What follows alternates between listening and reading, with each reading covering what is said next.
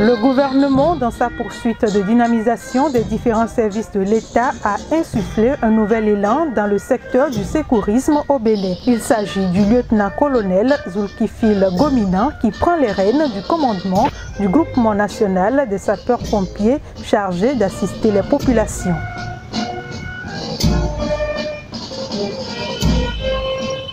Installé ce mercredi 1er juillet 2020 par le chef d'état-major de l'armée de terre, le colonel Fructueux Baguidi, il remplace le lieutenant-colonel Nda Gildas.